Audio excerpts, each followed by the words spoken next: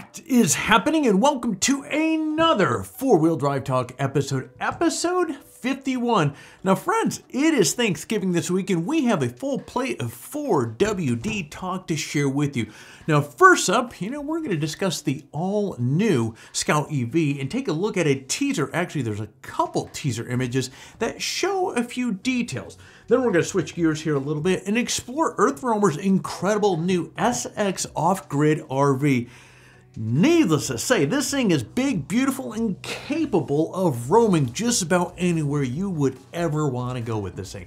Now then, of course, we'll close things off with taking a look at the North America Car, Truck, and SUV finals.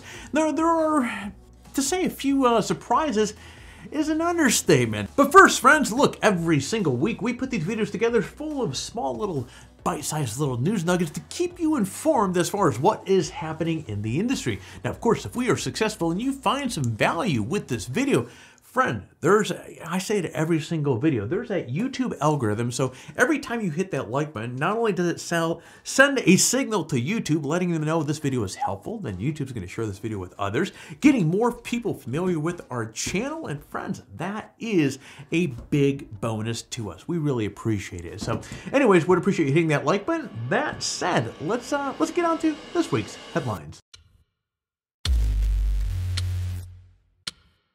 Now, as we've discussed in previous episodes, Volkswagen is reviving the International Scout as a electric vehicle. Now, VW has plans for SUV and truck variants.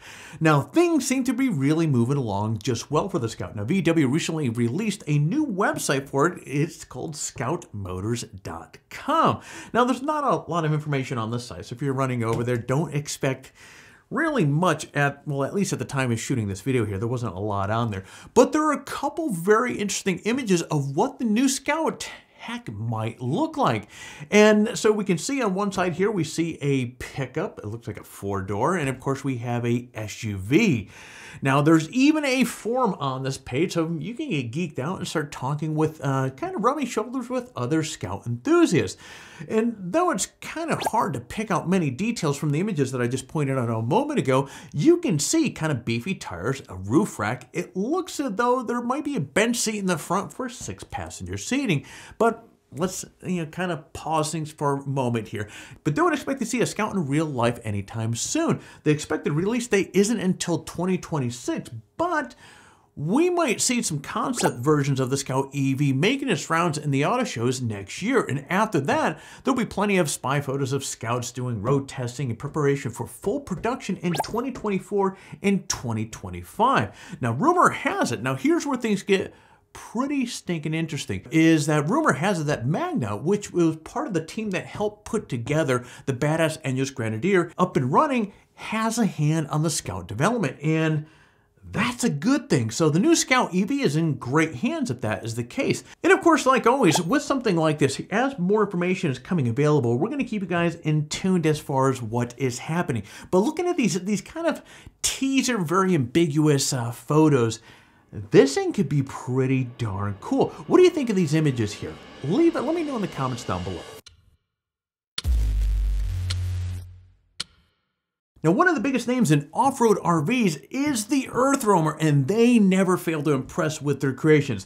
Now, EarthRoamers are, well, these things are big and badass to say the least. So whether you want something that you can take off-grid for a week or two, or you want something that can survive a zombie apocalypse, heck, EarthRoamer is for you or may be for you. Now, their new EarthRoamer SX continues their tradition of taking off-road capabilities heck to the next level. Now the XS is based off of the Chevy Silverado 6500 HD chassis. It has a 6.2, I'm sorry, a 6.6 liter turbo diesel V8 in a 6-speed transmission, 43-inch monstrous Goodyear tires wrapped around military-grade beadlock rims. Now, as you can see in these photos here, the exterior of this thing has a quite imposing Mad Max vibe. But inside is nothing but luxury. Now you can seat and sleep six people and take advantage of features like full bathroom. And heck, look at this. This thing has a rain shower, a rainfall shower in this thing. Uh, 270 degree views from the large windows and the option to add a washer and dryer for extended off-road trips. Now the SX also comes with increased fuel capacity, larger water tanks, and a impressive, you ready for this? 18,000 watt lithium ion battery system that will give you all the power that you need even for the longest off-grid trips. Now this rig has a diesel air heater and air conditioner so you can enjoy four season camping as well. Now this thing sounds pretty, this sounds pretty good, right? Well, the 2023 model, uh, you can start building on the EarthRoamer website right now today. Now, just be aware that this sucker is not cheap. The base price for this thing is just a tick under a cool million, but hey, you get a lot of features and amenities try to keep a straight face here. You know, seriously though, while this thing is going to be way out of budget for most people out there, you got to admire the ingenuity, the design, just what these guys are able to cram in these things. This thing is an absolute beast. But anyways, this is just scratching the surface of what the Earth Roamer SX offers. For more details on one of these suckers, I'm going to put a link down below in the description. Now this is the fun time of the year because the finalists for the North America Truck and SUV of the Year are identified. Now every year, I think I have a good idea of what vehicles are going to make the cut, but I'm often surprised and well, hell, this year is no different. That's a fact. Now, the three Truck of the Year finalists are the Chevy Silverado ZR2, the Lordstown Endurance, and what's funny about this is this is one of those that's kind of a sleeper here. I was surprised that this one made it to the list because if you, you know, obviously it's an EV, but it only has a, a, you know an estimated range of 200 miles, which at the end of the day, that's probably to convert to like a real real world range, probably like a 160, 170 mile range, which isn't a lot. And then you have the Ford uh, F-150 Lightning.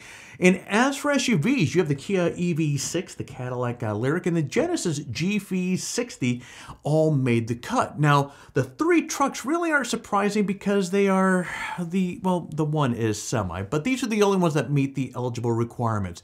But the SUV category, now this is a bit of a surprise for me. I thought for sure the Rivian R1S was going to be one of the finals. I figured the Honda CRV would be there too, given that how Hondas are so excellent in terms of reputation for reliability, reliability rather. Also surprising is that of all the six vehicles to make the finals for the Truck of the Year and SUV of the Year, only one, the Chevy Silverado ZR2, is gas powered. Now, of course, I figured EVs would be well represented, but to think there are five of the six of these here that are EV that is uh, that's kind of a, a, shift towards where the future's leading. Anyway, it's an interesting field. The winners will be announced January 11th in Detroit. All right, friends, and that is it for the news or the headlines this week. Now, let's shift gear and talk about our current giveaway. Here are the three excellent prizes that we have up this month. We have the Coleman Folding Go stove, we have a camping cookware set from Odoland, and we have the $100 Amazon gift card. Now, friends, as always, entering the giveaway is really simple. First, Step one, you gotta like the video and subscribe to the channel. Step two, leave a comment below. In fact, the more of our videos that you watch and leave a comment on, the more chances that you have to win. So by all means, start watching some of the videos and leave some comments. Step three, register on 4 Drive Talk and introduce yourself in the forum. Now, if you happen to register on the site and uh, during one of the last giveaways, you're still eligible to win. But friend, as I keep saying over and over again, swinging by, say hello. We would love to see you. And that is it. For complete details on the giveaway, including, hey, how to register on four-wheel Drive Talk or how to say hello in the forum, check out the description below.